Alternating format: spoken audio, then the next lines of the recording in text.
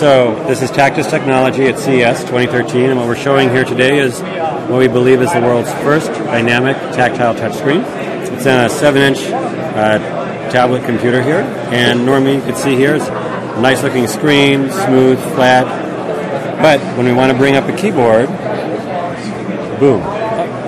Oh, there you go. So what happens there is that some uh, some buttons have just emerged from from the There we go. touchscreen, so you can actually press and feel the keyboard like Exactly. you would if, they- if they were there all the time. Exactly. Uh, and how does that work? How do they appear like that from underneath? So we use a technology called microfluidics, um, and we basically have uh, a special fluid which we put in our tactile layer, and by controlling that fluid, we can actually make the buttons go up and down, and we can do that very quickly, so that when you don't want the buttons, boom, they disappear. They just disappear and they.